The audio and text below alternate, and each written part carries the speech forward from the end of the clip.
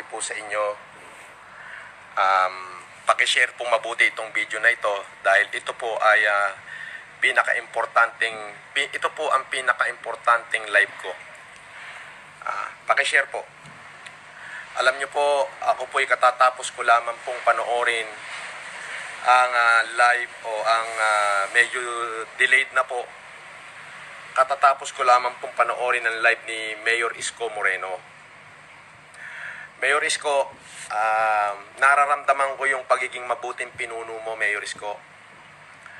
Ah, Mayor, marami na rin po akong commitment sa buong Pilipinas po at ah, dahan-dahan ko pong pinapacilitate yung mga bigas na akin pong ibinabahagi sa mga taong bayan. Ah, pero narinig ko po kayo kanina, Mayor Isko, ah, yung inyo pong tangis, yung inyong hinagpis bilang isang ah, bilang executive ng inyong ng ng, ng lungsod ng Maynila eh, na talaga pong gustong gusto nyo pong tulungan ng Maynila, Mayor Isko. Talaga pong parang ang Maynila po ay kayo. Parang kapag yung sugat ng kapraso ng Maynila ay sugat ding nararamdaman sa puso nyo. Mayor, yayabangan kita ngayon, Mayor Isko. Sa ayaw at sa gusto mo, Mayor Isko, kahit na hindi mo sabihin sa akin, Mayor, pupuntahan kita sa ayaw at sa gusto mo. Magdadala po ako ng isang truck na bigas para sa'yo. Para matulungan mo lang yung mga kababayan mo, Mayor. Nararamdaman kita. Alam mo,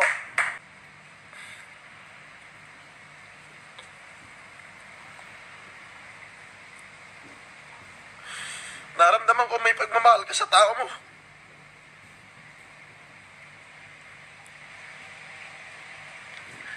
Kaya sa ayaw at sa gusto mo, pupuntahan kita.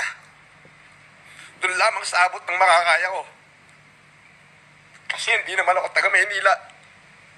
Probinsyano ako eh. Bibigyan kita isang truck na bigas.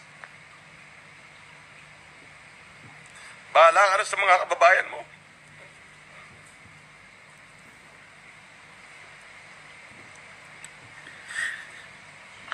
Mabuhay ka, Mayor Isko Moreno.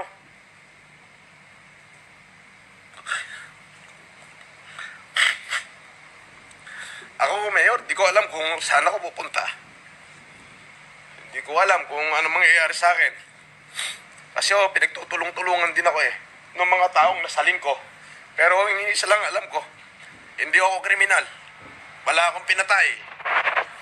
Wala akong dinambong. Wala akong tinapangan tao. Kaya kahit saan ko kami makarating, kahit sa Korte Suprema, harapin ko sila. Dala-dala ko yung bayag ko, Mayor. Dala-dala ko yung bayag ko.